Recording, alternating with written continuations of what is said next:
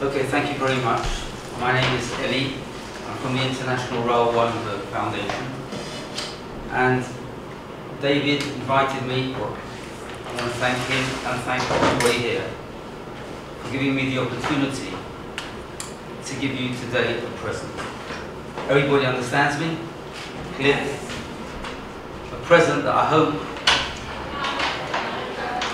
will be so dear to you that you will not want to keep this present for yourself. You want to give it to other people. You want to transfer it and maybe also help me to give it to other people as well. So again, before we start, thank you. If we came into this room and this room was completely dark, what would we do? Turn on the lights. In other words, everybody here agrees with, what's your name? Odea, who said that when you go into a dark room, automatically you look for the light, right? In the same way, we are now going to go into the darkest period of our history. When you go into the darkest period of our history, we also turn on the light. If we don't turn on the light when we go into the darkest period of our history, we remain in the dark. Just like if you don't turn on the light when you come into the room, you remain in the dark. So what we're going to do today, we are going to go into the darkest period of our history. But unlike what you've done before, we're going to try and put on the light. To everybody here, a present of light. A present of light and love. The present of Raoul Wallenberg. And again, thank you. Raoul grew up to be a very sensitive child. When he finished his studies, his grandfather, Gustav, came to speak to him. Raoul, you finished your studies now, and I've got great plans for you. I'd like you to be an international banker, to come into the family business. But first of all, I'd like you to get experience. I'd like you to become a citizen of the world, to get to know other peoples, other cultures. What do you say, Raoul? I got a friend in Haifa, in Palestine. He's got a Dutch bank. What do you say? You'll go there, You'll work in a bank, you live with a Jewish family, and you'll get some experience. Okay, grandfather. 1936, Raoul Wallenberg comes to the land of Israel, Palestine at the time. He lives in Haifa with a Jewish family, and he works in a Dutch bank. One day, the mother of the house speaks to him. Raoul, there's a boat coming in from Germany. You know, refugees. Maybe somebody will need a room. So you may have a guest this evening. Welcome. That night, Raoul comes back to his room, and there's a boy there called Ariel, who just came to the land of Israel from Germany. He just landed in Haifa. And between them starts a discussion. Me, Ariel, what's going on in Germany? What, you don't know, Raoul? They don't, you humiliate us. They don't let us work. They throw us out of our jobs. It's impossible to live in Germany today. And Raoul hears what's happening to the Jews in Germany in 1936, three years after Hitler came to power. After he hears the details, he has one question. But one thing I don't understand, Ariel. What about your friends, your neighbours, the people who you're friendly with? What, Raoul, you don't know? Nobody cares about the Jews anymore. Nobody cares about us. Raoul could not hear that answer. What do you mean nobody cares about you? The whole night he couldn't sleep. He had this discussion with God.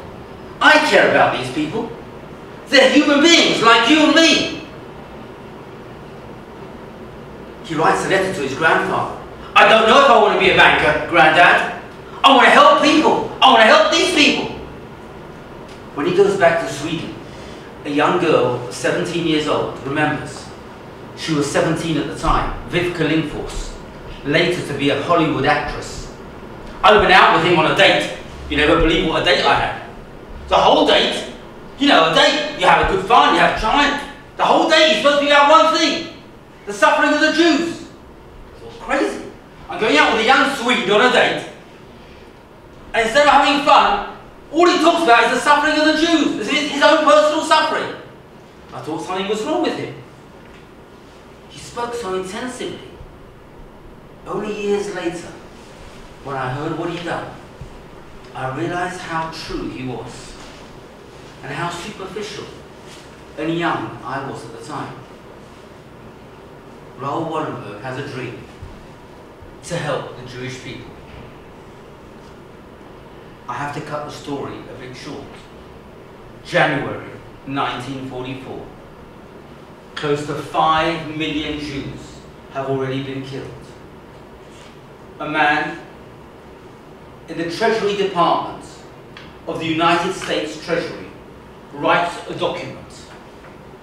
The acquiescence, the agreement of this government in the murder of the Jews. His name was Josiah Dubois. He takes this document to his boss, the Minister of Finance of the United States government, Henry Morgenthau.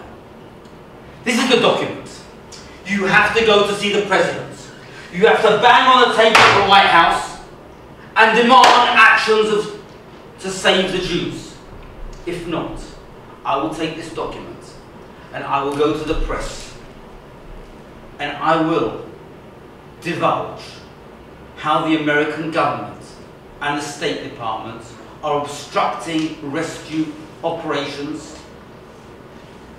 when it is possible to save tens of thousands of Jews. January 1944, Henry Morgenthau, the only Jew in the United States government, finally goes to the Oval Office and has a meeting with the President, Roosevelt. Morgenthau, do you realize what this document says? I can no longer mince my words, Mr. President. We have to act now. We have done everything to obstruct the saving of the Jews. We have to act. After a heated discussion, the President decides on the creation of the American War Refugee Board. That board will have the responsibility of trying to save a few thousand Jews through diplomatic means. Iver Olsen of the CIA, they called it at the time OSS, will be sent by the President to Sweden to look for a man who will go to Hungary and try to save the last Jews. In Sweden he meets Ambassador Johnson, the American ambassador, and Rabbi Ehrenpreis, the chief rabbi of Sweden. And they look for the man who is going to go and save the last Jews. Raoul Wallenberg volunteers and he comes for the interview. Raoul Wallenberg, young no, 31, no real experience. Why do you think that you can save the Jews? It's very simple.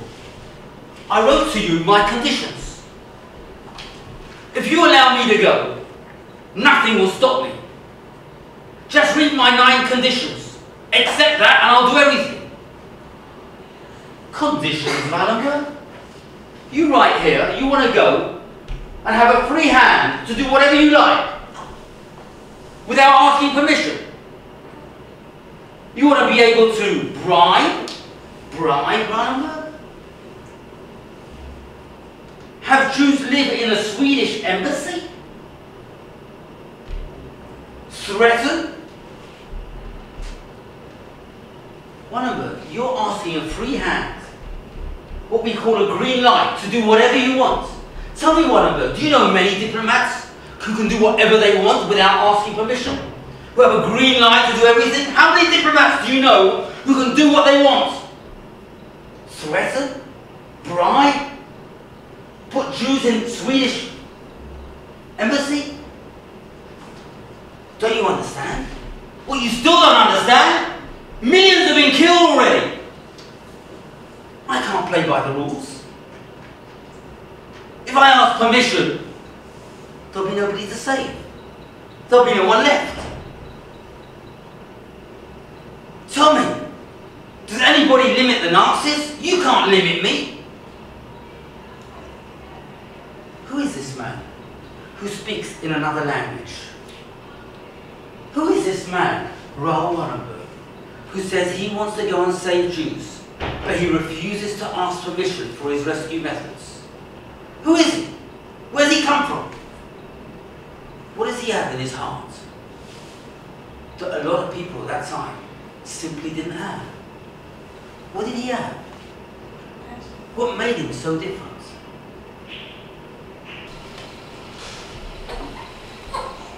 In the 1960s, an American singer used to sing, How many ears must one man have in order to hear people cry? How many ears must one man have in order to hear people cry? The answer, my friends, is blowing in the wings. What is the answer that is blowing in the wings? What enables you to hear somebody cry 3,000 kilometers from here, and you can't even hear somebody cry in the next room? What enables you to hear people cry 3,000 kilometers away? Well, Wallenberg knew the answer. Do I need permission to save my family? Wallenberg? But you're not Jewish.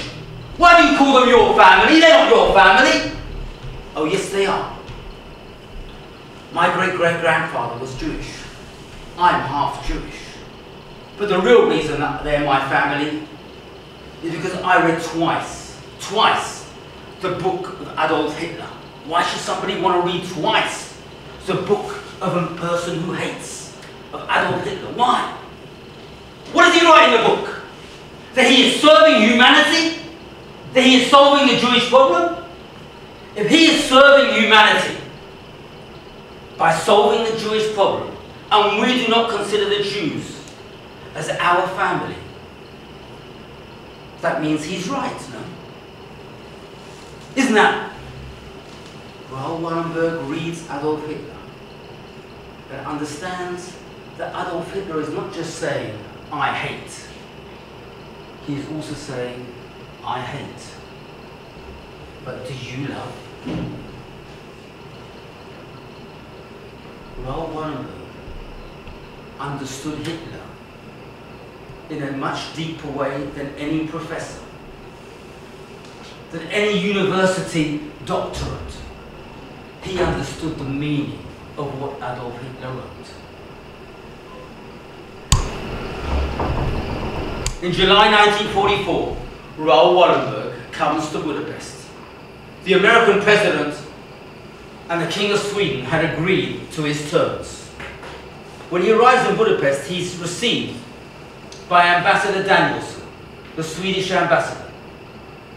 Oh, Wallenberg, how was your trip? You know, a lot of work here, Wallenberg. Tell me, how do you intend to save the Jews? Do you have a plan? Not really. But I did bring with me my secret weapon. Secret, secret weapon, Wallenberg? And what may that be, may I ask? Secret weapon, that's interesting. Nothing dramatic.